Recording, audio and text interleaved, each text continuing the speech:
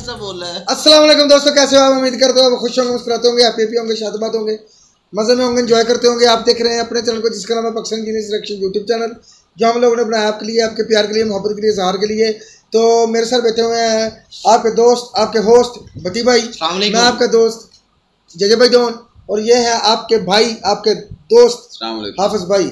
तो आज हम बड़ी मज़ेदार दिलचस्प वीडियो लेके हाजिर हुए हैं। वीडियो को मतलब बात करने से पहले मैं बताता चलूँ कि वीडियो वाकई कमाल की है और वाकई कमाल की होने वाली है। तो वीडियो के मतलब बताएँगे आपको हाफिज भाई। वीडियो है जी, वीडियो का टाइटल हिंदी में है, मेरे ख्याल से seven wonders of the world मेरे ख्याल से। इस तरह का टाइटल है लेकिन लिखा नहीं हुआ, शायद ऐसे ही। तो वीडियो देखेंगे वीडियो के बारे में जानेंगे और इंडिया के बारे में जानेंगे। 99 लिखा हुआ फिर हिंदी लिखी फिर सेवन लिखा फिर हिंदी लिखी हुई फिर सेवन लिखा फिर यार। बंडर लिखा हुआ फिर ऑफ़ लिखा हुआ। बाकी आपने बता देना वीडियो क्या को लिखा हुआ जाने से पहले हमारे चैनल को सब्सक्राइब कर लें हमारी वीडियो को लाइक और शेयर लाजमी कीजिएगा और हमारे रिएक्शन को पूरा देखिए। चलें। सभी बचपन से ही यह सुनते आए हैं कि आगरा का ताजमहल दुनिया के सात अजूबों में से एक है। लेकिन आपको यह बात जानकर हैरानी होगी कि ताजमहल का नाम दुनिया के सात अजूबों में अभी कुछ साल पहले ही जुड़ा है। दरअसल दुनिया के सात अजूबे 2007 में पूरी तरह से बदल चुके हैं क्योंकि साल 2000 से 2007 के बीच स्विट्जरलैंड के न्यू सेवन वंडर्स फाउंडेशन के द्वारा दुनिया के 200 हिस्टोरिकल बिल्डिंग्स को लेकर सर्वे कराया गया। और फिर इस तरह से 2007 में जाकर दुनिया के नए सात अजूबों की लिस्ट तैयार की गई। और दोस्तों अगर पुराने seven wonders of the world की हम बात करते हैं तब उस लिस्ट के अंदर great pyramid of Giza hanging gardens of Babylon temple of Artemis statue of Zeus at Olympia mausoleum at Halicarnassus colossus of Rhodes और लाइट हाउस ऑफ़ अलेक्जेंड्रिया शामिल है। हालाँकि 2007 में यह लिस्ट अब पूरी तरह से अपडेट हो चुकी है क्योंकि वर्ल्ड के सेवन वंडर्स अब बदल गए हैं। और दोस्तों आज के इस वीडियो में भी हम दुनिया के नए सात अजूबों के बारे में ही बात करने वाले हैं। तो दोस्तों सेवन वंडर्स की लिस्ट में सबसे पहले नंबर पर है the great wall of China. दरअसल चीन के इस दीवार को फिफ्थ सेंचुरी से लेकर सिक्सटीन सेंचुरी तक बनाया गया था। और इस दीवार को बनाने में करीब 20 से 30 लाख लोगों ने अपनी पूरी लाइफ लगा दी। यहाँ तक कि चौसठ सौ किलोमीटर में बने हुए इस दीवार को कई सारे राजाओं ने अलग अलग समय में मिलकर बनवाया था। और दोस्तों इस दीवार का उद्देश्य चीनी साम्राज्य पर हमला करने वाले दुश्मनों से रक्षा करना था। और यह दीवार इतनी बड़ी और लंबी है कि इसे अंतरिक्ष से भी बहुत ही आसानी से देखा जा सकता है। और इतना अद्भुत होने की वजह से इसे दुनिया के सात अजूबों में शामिल किया गया। और दोस्तों कुछ इसी तरह से seven wonders of the world में दूसरे नंबर पर है पेट्रा दरअसल जॉर्डन देश के अंदर पेट्रा एक ऐतिहासिक शहर है, जो कि लाल चट्टानों को काटकर बनी हुई इमारतों के लिए जाना जाता है। और यहाँ पर मौजूद इमारतों में 138 फुट ऊँचा मंदिर ओपन स्टेडियम नहर और तालाब जैसी ही कई सारी चीज़ें शामिल हैं। साथ ही पत्थरों को काट कर कुछ ऐसे आर्टवर्क्स यहाँ पर बनाए गए हैं जो कि लोगों का मन मोहन है। और यहाँ की यही सभी चीज़ें लोगों को सच में आश्चर्य कर देती हैं। साथ ही यूनेस्को के द्वारा भी पेट्रा को एक विश्व धरोहर होने का दर्जा मिला हुआ है। और इन्हीं सभी चीज़ों की वजह से 2007 में इसे दुनिया के नए सात अजूबों में जगह दिया गया। और दोस्तों कुछ इसी तरह से लिस्ट में तीसरे नंबर पर है क्राइस्ट द रिडीमर दरअसल क्राइस्ट द रिडीमर ब्राज़ील के रियो डी जेनरो में स्थापित ईशा मसीह की एक प्रतिमा है जिसे कि दुनिया के सबसे बड़े स्टैचूज में शामिल किया जाता है। और दोस्तों करीब 40 मीटर लंबी और 30 मीटर चौड़ी इस स्टैचू का वज़न 365 टन के आसपास है और इसका कंस्ट्रक्शन 1922 और 1931 के बीच में किया गया था। और दोस्तों इस मूर्ति की खास बात यह है। यह जिस पर्वत की चोटी पर स्थित है वहाँ से पूरे शहर का अद्भुत दृश्य दिखाई पड़ता है। और यही देखने के लिए पूरी दुनिया के लोग यहाँ पर आते हैं। और दोस्तों कुछ ऐसे ही seven wonders of the world की लिस्ट में चौथे नंबर पर है हमारा अपना ताजमहल। दरअसल ताजमहल हमारे देश भारत के आगरा शहर में स्थित सफ़ेद संगमरमर से बना हुआ एक मकबरा है। जिसे कि 1632 में मुगल सम्राट शाहजहां ने अपनी पत्नी मुमताज़ की याद में बनवाया था।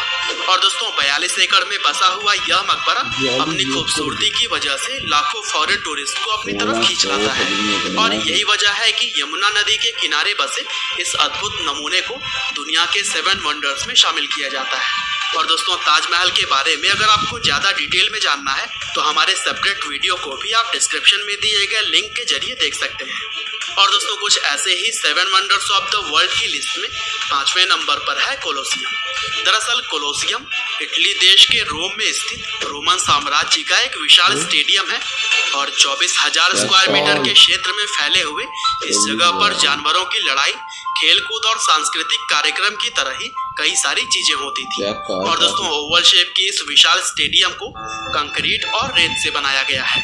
हालाँकि प्राकृतिक आपदा और भूकंप से इसका थोड़ा सा भाग ध्वस्त हुआ है लेकिन आज भी इसकी विशालता वैसे ही है। और इसी वजह से इतनी पुरानी ये वास्तुकला आज भी दुनिया के सात अजूबों में शामिल की जाती है। और दोस्तों इस विशाल स्टेडियम में एक समय पर 50 से अस्सी हज़ार लोग तक बैठ सकते थे जो कि उस समय के हिसाब से ऐसी बिल्डिंग को बनवाना कोई आसान बात नहीं थी। और दोस्तों लिस्ट में छठे वंडर्स में गिना जाता है माचू पिचू को। दरअसल माचू पिचू दक्षिण अमेरिकी देश के पेरू में स्थित एक ऐतिहासिक स्थल है जो कि समुद्र तल से 2430 मीटर की ऊंचाई पर एक पहाड़ के ऊपर मौजूद है। और दोस्तों माचू पिचू की खूबसूरती देखने के बाद आपको पता चल जाएगा कि यह अमेरिकी देश पेरू का एक प्रमुख हिस्टोरिकल प्लेस साथ ही उन्नीस में इसे विश्व धरोहर और 2007 में दुनिया के नए सात अजूबों में इसे चुना गया। और दोस्तों कुछ इसी तरह से seven wonders of the world की लिस्ट में आखिरी नंबर पर है चीचन इटजा दरअसल चीचन इटजा पाँच किलोमीटर के दायरे में फैला हुआ एक ऐसा शहर है, जहाँ पर कई सारे पिरामिड मंदिर और खेल के मैदान बने हुए हैं। और दोस्तों, एक पिरामिड के चारों तरफ़ मिलाकर कुल तीन सौ पैंसठ सीढ़ियाँ हैं। और यहाँ पर हर एक सीढ़ी को एक दिन का प्रतीक माना जाता है। और दोस्तों, इसके अलावा यहाँ पर पवित्र कुएँ के साथ साथ खगोलीय वेदशाला भी मौजूद है। और दोस्तों 2007 में स्विट्जरलैंड के न्यू सेवन वंडर्स फाउंडेशन ने इसे भी अपनी लिस्ट में शामिल किया। तो दोस्तों यह थे विश्व के सात नए अजूबों की लिस्ट। उम्मीद करते हैं कि आपको यह वीडियो ज़रूर ही पसंद आई और दोस्तों अगर आप वाकई ज़बरदस्त थी इंफॉर्मेटिव थी। इंटरेस्टिंग वीडियो थी बड़ी इंटरेस्टिंग वीडियो थी यार मज़ा आया देख के कि दुनिया के सेवन वंडर की तारीख का पता चला उनके बारे में मालूम हासिल हुई। और यार सबसे जो अमेजिंग बात है ना वो ये है जो वो स्टेडियम महान विशाल स्टेडियम हाँ। बनाया गया यार उस पचास से अस्सी हज़ार बंदों की उस दौर उस दौर में बनाया गया ये कैसी ना कोई मशीनरी टेक्निक ना कोई मशीनरी थी ना कुछ था। यार रेत और यार मेरी समझ से यार मेरी समझ से बाहर है कैसे उसकी अच्छा जय भाई ये कितनी इंटरेस्टिंग बात ये है आजकल तो टेक्नोलॉजी इतनी ज़्यादा है आजकल घंटों का काम मिनटों में और मिनटों का काम सैकड़ों में यार उन्होंने तो आप वो देखें कि इतनी विशाल कई जो बिल्डिंग है वो उन्होंने कितने समय में बनाई कैसे, कैसे बनाई इतनी हाइट पे वो कैसे मटेरियल लेके गए होंगे? और वो यार ताजमहल तो देख लो आज से पाँच सौ साल पहले बना चार सौ साल। यार कमाल तो ताजमहल के बारे में तो ये बात मशहूर है कि जितने मिस्त्री थे राजगीर थे उनके हाथ कटवा दिए गए ये कोई कोई कहता है ये सही है कोई कहता है गलत है ये फेक बात ये हंड्रेड परसेंट बात नहीं ये फेक बात कोई तो कहता है उनको बड़ा नवाजा गया था हाँ। कोई क्या कहता है कोई क्या मगर ये बात है कि ताजमहल इंडिया की खूबसूरती है। बाकी यार। इंडिया उसने पूरी दुनिया में इंडिया का नाम यार इतना खूबसूरत आप लोगों के लिए खुशी की खबर है कि सेवन वंडर्स में आपका एक चौथे जो चौथे नंबर तीसरे चौथे नंबर अच्छा और एक वो जो मूर्ति है एक वो जो बड़ी हाँ यार वो किस ओ ईसा यीशु दी बनाई हुई ना मूर्ति उन्होंने। 1922 की बनाई तो यार तू देख वो किस तरह बनाती? यानी कि वो आठ साल में बनी वो मूर्ति। तो इतनी बड़ी मूर्ति है तीन सौ पैंसठ टन उसका वज़न है। और दूसरी बात यह है कि एक तो मूर्ति इन्होंने भी बनाई है वो इंडिया में दुनिया की सबसे बड़ी मूर्ति जिसे कह रहे थे मेरे ख्याल एक और छड़ दो जो दूसरा सरदार पटेल की इस तरह कोई नाम है उनका वल्लभ भाई पटेल हां वल्लभ भाई पटेल हां ਜਿਹੜਾ ਪਰ ਦੂਸਰੇ ਨੰਬਰ ਤੇ ਉਹ ਦੇਖਿਆ ਵਾ ਉਹ ਪੱਥਰਾਂ ਦੇ ਵਿੱਚ ਪਹਾੜਾਂ ਦੇ ਵਿੱਚ ਉਹ ਕੱਟਿਆ ਗਿਆ ਮੂਰ ਯਾਰ ਉਹ ਮੈਂ ਅਮਰੀਕਨ ਅਮਰੀਕਨ ਨਹੀਂ ਹੈ ਉਹ ਦੂਸਰੇ ਨੰਬਰ ਤੇ ਯਾਰ ਅਮੇਜ਼ਿੰਗ ਯਾਰ ਇੰਨੀਆਂ ਅਮੇਜ਼ਿੰਗ ਚੀਜ਼ਾਂ वाकई यार दिल खुश हो गया देख के कि जो बंदे सामने हो मज़ा आया यार। अगर सामने हो जगह तो तो कैफियत कुछ और ही होती बंदे ये हिस्टोरिकल जितनी भी चीज़ें हैं इनमें कला देखने वाली है। कला जितने भी बनाने वाले राजगीर मेसन जितने भी हैं वाकई बंदे उन्होंने कितने अच्छे तरीके से तराशा पत्थरों को एक मूर्ति बनाई उसमें खूबसूरत ढांचे बनाए और फिर जाकर यार एक पहाड़ में सब कुछ बना दिया वो तो कह रहे हैं उसमें स्विमिंग पूल भी है आप ये, ये चेक करें आप ये चेक करें कि आजकल मशीनरी इतनी ज़्यादा है तो ठीक है ना फिर उसके मशीनरी के साथ भी काम होता है तो फिर भी कुछ ना कुछ बंदे के इससे गड़बड़ हो जाती है। जैसे और आप चीन में उन्होंने दस दिनों में एक हॉस्पिटल बनाया एक हज़ार बेड वाला। वो भी देखिए इतनी टेक्नोलॉजी होने के बावजूद उन्होंने बनाया लेकिन इन लोगों ने इतनी कला के साथ हज़ारों साल पहले ये चीज़ें बनाई। उनके जहन में माइंड में कैसे आया वो परफेक्ट है। हाँ। हम आज एक चीज़ बनाते हैं तो वो पाँच साल बाद गिर जाती है। तो ये बात कंस्ट्रक्शन ये बात छोड़े इंडिया बनने से इंडिया पाकिस्तान बनने से पहले ये हमारी नहर के सारे पुल है।